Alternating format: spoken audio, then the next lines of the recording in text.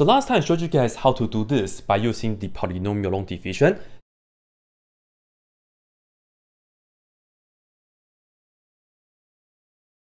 Today I will show you guys the shortcut, and that is the synthetic division.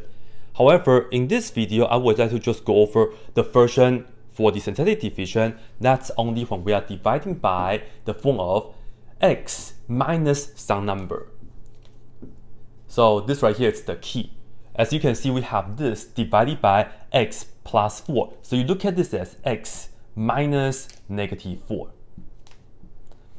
And there are different versions of the synthetic division that's more complete. You can have the number in front, you can have x squared, but I'm not going to cover that in this video. So let's see how it works. Firstly though, you look at the top and you are going to write down the coefficient in the box, like half of a box. So first you just draw like half of a box like this.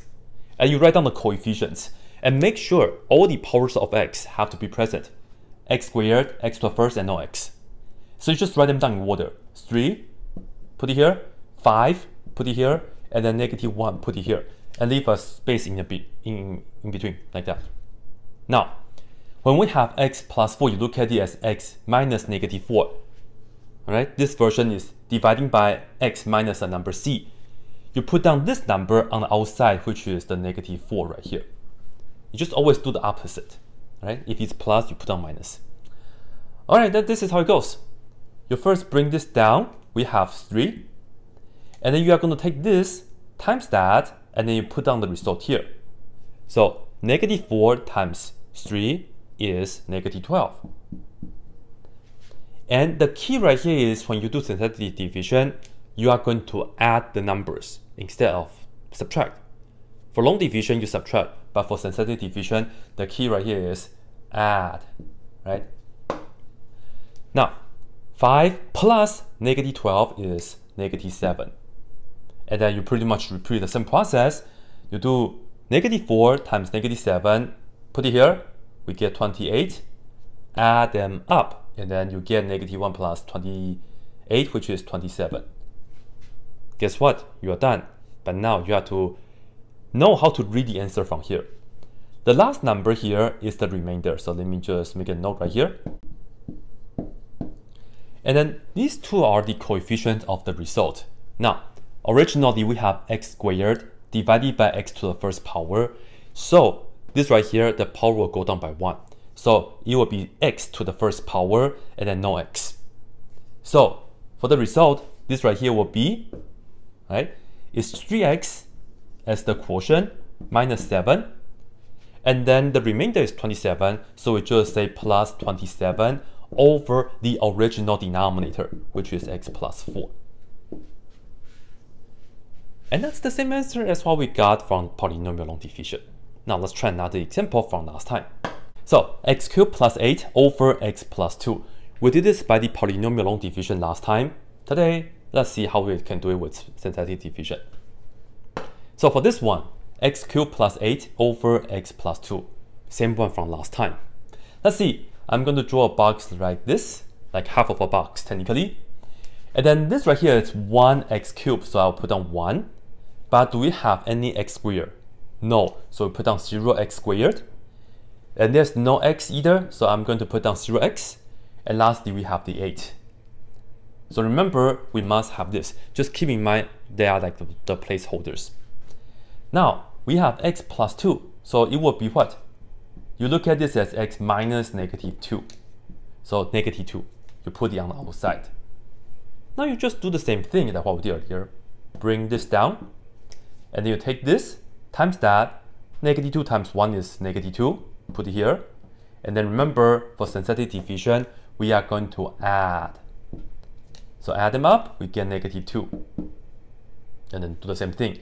Take this times that, get positive 4, and then we add them and then take this times that, which is negative 8, add them, we get 0. The remainder here is 0. Now, we have x to the third power at first, divided by x to the first, so the power goes down by 1. So this is x to the second power, this is with x, and this has no x. So the answer for this right here is just 1x squared minus 2x plus 4. and the remainder is 0, so you don't have to write down anything else. That's it, just like what we got last time.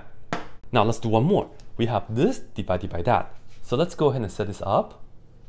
Here we have 4, x to the fourth power, but there's no x to the third power, right? So that's 0 x to the third power, and then minus 41x squared plus 1x, so it's 1. And lastly, we have a minus 15. Now, if this is x minus 3, then what do we put down right here?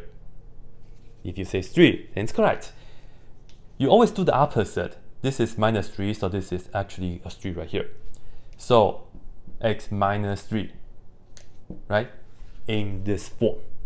Now, bring down the 4, take 3 times 4, which is 12, and we put it here. Add them up, so that's another 12. 3 times 12 is 36, and we put it here. This plus that is going to be negative 5. Continue. This times this is negative 15, right? And then you add them up, this is going to be negative 14. And lastly, this times that is going to be negative 42. And then we are going to add them up. So that's going to be negative 57. Okay. Now, this is x to the fourth power at first, and then this is dividing by x to the first, right? So this is x to the third power. I'm just going to write down the answer for you guys right here. This is 4x to the third power plus 12x squared and then minus 5x and then minus 14. And for the remainder, since this is a minus, you can put a minus here, 57 here, and divided by the original denominator, x minus 3. So it'll be just like this. Right? So remember, this right here is one power less than the original, and you can just indicate that right here to make it super clear. So that's it.